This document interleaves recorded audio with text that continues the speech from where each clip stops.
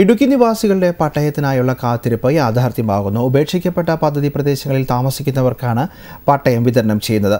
ഇന്ന് വൈകിട്ട് മൂന്ന് മുപ്പതിന് രാജാക്കാട് ഗവൺമെന്റ് ഹയർ സെക്കൻഡറി സ്കൂളിൽ മുഖ്യമന്ത്രി ഉമ്മൻചാണ്ടിയാണ് പട്ടയ വിതരണം നടത്തുക.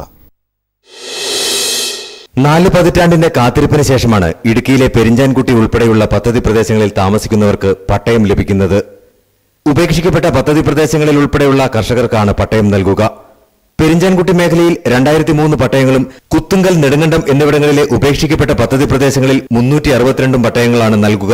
ഉപേക്ഷിക്കപ്പെട്ട പദ്ധതി പ്രദേശങ്ങളിൽ താമസിക്കുന്ന ആളുകളുടെ നൂറ്റാണ്ടുകളായിട്ടുള്ള ആവശ്യം ആവശ്യമാണ് ഇപ്പോൾ യാഥാർത്ഥ്യമാകുന്നത്. പെരിഞ്ഞാകുട്ടി മേഖലയിൽ ആദ്യമായി കൊടുക്കുന്ന പട്ടയം രണ്ടായിരത്തി അഞ്ഞൂറോളം പട്ടയം കൊടുത്തുകൊണ്ടാണ് രണ്ടായിരത്തി പതിനഞ്ച് പട്ടയ വർഷമായി പ്രഖ്യാപിച്ചുകൊണ്ട് പരിപാടികളുമായിട്ട് മുന്നോട്ട് പോവുകയാണ്.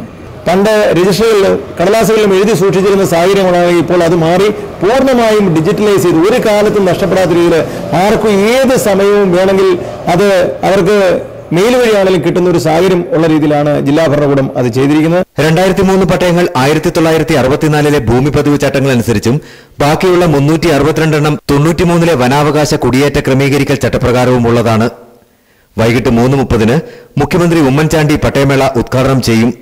മന്ത്രിമാരായ അടൂർ പ്രകാശ് പി ജെ ജോസഫ് തുടങ്ങിയവർ പങ്കെടുക്കും. ജീവൻ ന്യൂസ് ഇടുക്കി.